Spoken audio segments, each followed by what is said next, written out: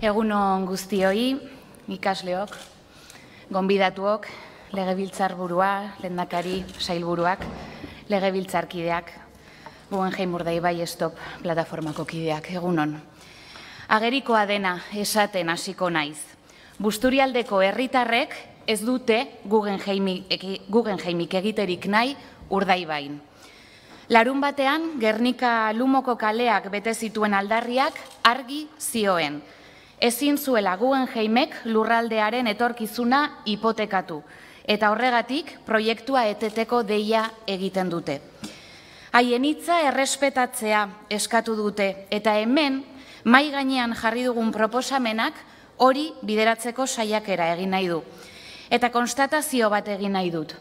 Gernika Lumoko kaleak antolatutako gizarte plataforma anitz batek bete zituen. Urteak daramatzatenak askotan bakardadean informazioa atera nahiean, proiektuaren atzean dauden urratsetan ingurunea babesteko lanetan, saretzen, informatzen. Beraz, gaur eztabaida hau hemen ematen bada, larun batean kaleak bete baziren haiei esker da.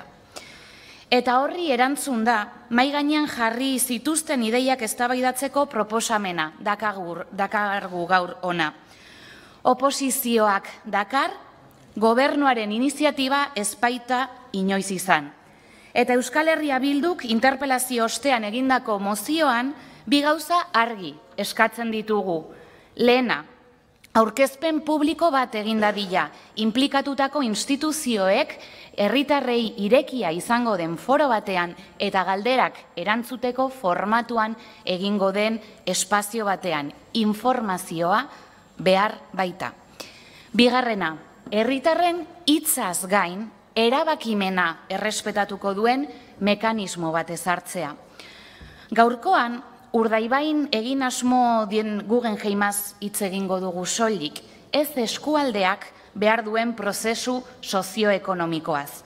Bi prozesu aparte direlako.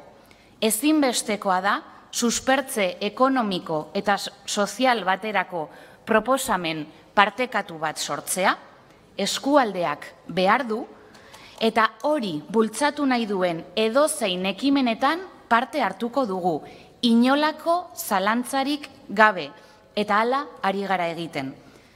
Baina honek, prozesu honek, diagnostiko bat eskatuko du. Herri bakoitzak zein eskualdeak dituen zerbitzuen eta beharren analizia, partekatu litezkeen proiektuen diseinua eta amaieran maigaineratu beharko diren inbertsioena. Eta prozesu honek bide bat egin behar du eta ezin du amaiera aldez aurretik idatzia izan. Hau ez dugu egingo Guggenheim bat legitimatzeko. Hau eskualdeak behar duelako egingo dugu. Aldez aurretiko idazketari gabe, aldez aurretiko inposaketarik gabe. La primera idea que queremos recalcar es que ningún proceso participativo que se precie puede empezar con un final marcado. Creemos en el necesario trabajo en común para reactivar Busturialdea. Creemos en la necesidad de un plan socioeconómico para el Escualde, pero no vamos a permitir que se utilice este proceso para legitimar un solo proyecto. Hay que partir de cero y ver a partir de las necesidades que se marquen cuáles tienen que ser los proyectos tractores y no decidir desde ya cuál será uno de ellos. Horregatik, gaur, prozesu hau Guggenheimetik aparte landu behar dela uste dugu. Momentu hauetan, proiektuak sortzen duen kontrakotasunari heldu behar zaiola uste dugu. Eta eskatzen dugun lehen ideia gardentasuna da. Orain arte, eskualdeko herritarrek, tesango nuke oroar denok, baita ordezkari politikook ere, bizkaiko batzar nagusietako zein legebiltzarreko oposizio taldeok, elkorreoren bidez joan gara proiektuaren berri izaten. Tartean jakin dugu museoak berak izango duen tabernaren nolakotasuna, baina instituzioen partetik informaziorik ez. Bueno, tartean, tartean, boletin ofizialen batean, erabakiren bat, modifikazioaren bat, zuzkidura berriren bat. Baina proiektuari buruzko azalpen argirik inoiz ez. Maketa bat saldu zaigu. Proiektu kultural, ekonomiko, sozial edo inguru girokorik gabe. Proiektuaz baino, maketaz hitz egitea egokiagoa da momentu hauetan. Beraz, gardentasun ariketa bat da eskatzen duguna.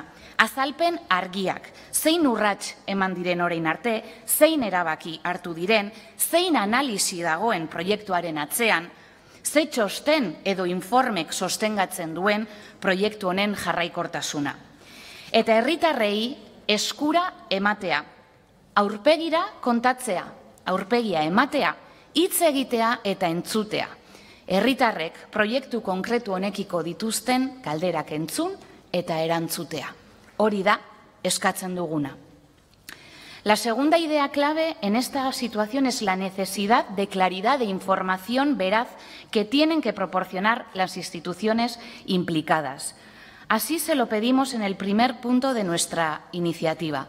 La ciudadanía de Busturialdea se merece saber sobre qué se sustenta este proyecto, qué objetivos culturales, económicos o medioambientales puede tener. Y para eso hay que dar la cara, explicar, responder a las preguntas y escuchar.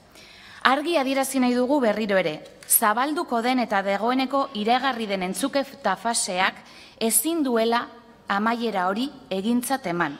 Zertarako entzun, zertarako arazi, egin egingo bada. Aurre juskurik gabe irekitzen den, gardena izango den eta erabakimena herritarren esku ere utziko duen prozesu bat da martxan jarri behar dena. Horixe da, hain zuzen, EAJak eta PESek aurkeztu zuten edo duten zuzenketari egiten genion zehaztapen eskaeraetako bat. Eskua luzatu baitizuegu adostu dezagun. Eta adostasunean, zuek kokatzen zenituzten ideia batzuk zehaztu genitzan. Baina ez duzue nahi izan. Eta lastima bada. Guk benetan borondatea bagenuelako eta uste dugulako gaur gobernua sostengatzen duten taldeek, Bizkaiako gobernua ere sostengatzen duten talde berdinak diren horiek, oposizioarekin, herritarrekin egin asmo den prozesuaren aurrean, beste irudi bat, beste egiteko modu bat erakutsi al zenutelako. Gaineratuko nuke eskualdean gehiengoa duen taldearekin egiteko aukera zenutela. Zuei ere, helarazi genizuen atzo bertan, zuen zuzenketaren amaieran dioenak sortzen digun kezka. Eta galdera bera egiten dugu gaur hemen.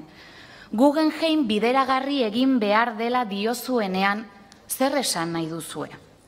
Herritarrekin egin asmo dela diozunean, prozesua hau amaiera horrekin eta proiektua legitimatzeko erabiliko dela, zeren guk uste bideragarri dagoeneko emandako hainbat urratsek egiten dutela bideragarri, kostaldeko lege aldatzea, apo ezberdinek, plan territorial partzialen moldaketek, horrek guztiak egin nahi du bideragarri proiektua.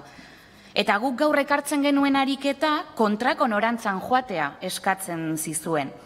Duela bi aste interpelazioa egitean Ramon Zaioren hitzak ekarri nituen ona, Guggenheima etxea teiatutik astea zela zioena. Eta gaur gareneratuko nuke ez dela teiatua. Horren gainean dagoen tximinia dela, kea dariola ez duen azpian dagoen guztia ikusten lagatzen. Eta esan genuen, Guggenheimen proposamen honek ez daukala proiekturik atzean, eta bereziki nabarmentzeko ez daukala proiektu kulturalik edo guk, behintzat, herritarrek ere, ez dugula ezagutzen. Normalean, ulertzen dut, edo ulertu nahiko nuke, onelako proiektu bat maigaineratzen denean, proiektu kultural batekin, hasi beharko litzatekela ez tabaidaren prozesua, ez da?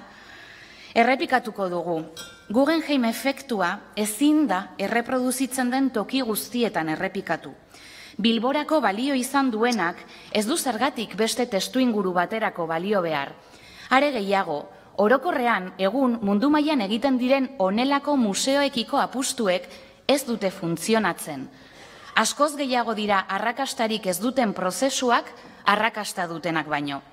Malaga ipatu genezaken duela urte batzuk ere kasu arrakastatxu bezala, baina egun turistifikazioak irian eragin duenak kontrako norabidean darama, arrakasta hau.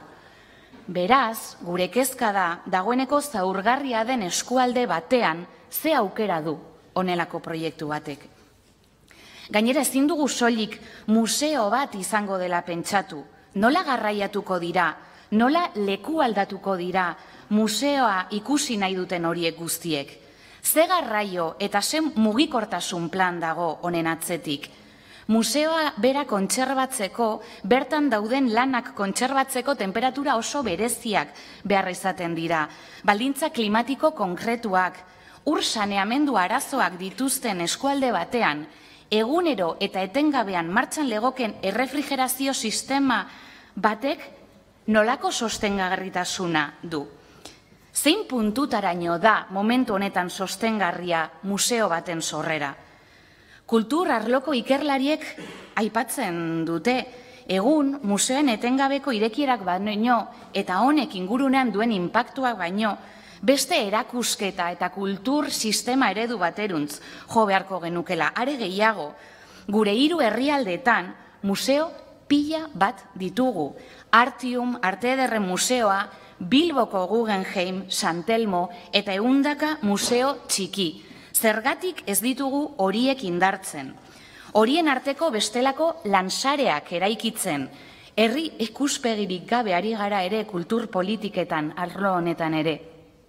Eta nabarmentzekoak dira, museo txiki hauek direla gehienetan eskualdeetan errotuenak daudenak, ikasleen bizita gehien hartzen dituztenak, programa pedagogiko eta kultural ederrak dituztenak, eta hauek indartu beharrean, espektakulu politika egin nahi da eraikin berri batekin. Busturialdean baditugu Euskal Herria Museoa, Gernikako Bakearen Museoa, Arrantzalearen Museoa, Omako Basoa, Ondare Kultural eta Historiko Mordoa, badugu Astra eta badugu Urdaibaiko Biosfera, Birzenterrarekin eta Ekoetxearekin. Badago ondarea, badaude eraikinak, badaude museoak, badaude proiektu kulturalak ez ote da garaia horiek indartzeko. Amaitzera noa, herritarrak entzuteko garaia da. Guk proposatzen dugun mekanismoa zehatza da eta konpromiso errealak hartzeko garaia da hau. Eta ez du Euskal Herria Bilduk esaten. Ez du Euskal Herria Bilduk eskatzen. Larun batean, Gernika Lumon elkartutako jendetzak eskatzen du kolore anitzetako jendetzak. Eskerrik asko. Eskerrik asko etxe berrita anderea. Zuzenketak aurkeztu dituzten taldeen txandara pasatuz, Euskal